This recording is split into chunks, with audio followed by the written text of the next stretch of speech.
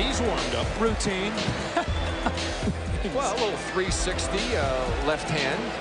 You see the fans voting eights, nines, and tens. Ooh, Chapman tosses to himself for the two-handed reverse jam. Now, a little flip from behind his back to the front. Two hands over the head. Good timing. Nice toss. It just has a better look to it. It looks smooth, didn't right. it? I mean, it was real creative.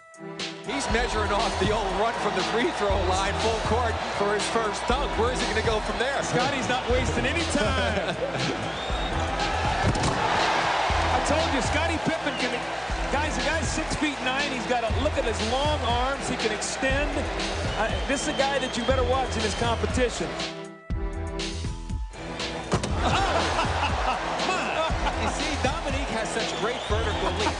He also is an exceptional power dunker who, who does the creativity that you like to see in the dunker. One, two, we got a both. That's a one-two punch if I ever saw it, Billy Thompson. You hear the crowd cheering. He,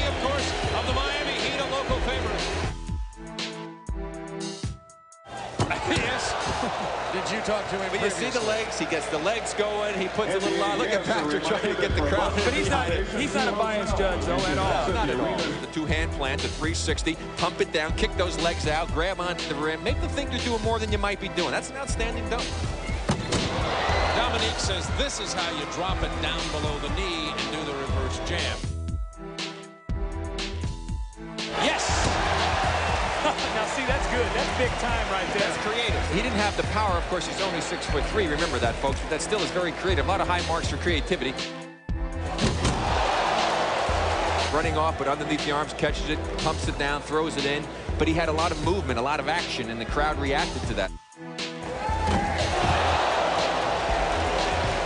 The windmill reverse on the baseline by Kenny Skywalker.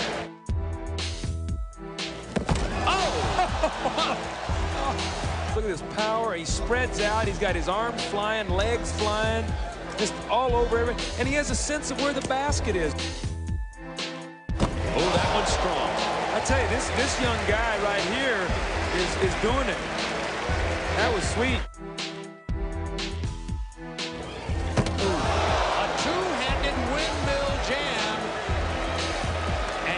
Leverson, his Atlanta teammate, came up. You saw the look of Magic Johnson and Isiah. I mean, look at his power. I mean, you know, he makes it look so easy. It looks routine. The windmill dunk from Dominique Wilkins. Dominique needs a 47-6 to win. Oh, that's got to get it. A 49-2, and Dominique Wilkins is a repeat champion with a total cumulative score in the championship round of a 146.8. Dominique Wilkins, the champion from 1985, is now the champion from 1990.